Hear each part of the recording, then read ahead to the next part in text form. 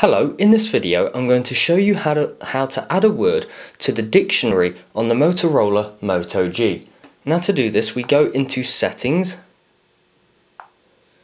we then scroll down to language and input, then personal dictionary.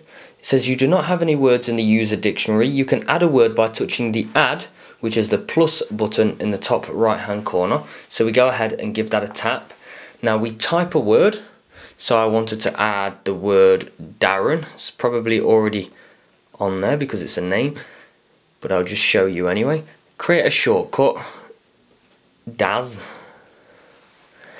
And once I'm done, I go ahead and tap done.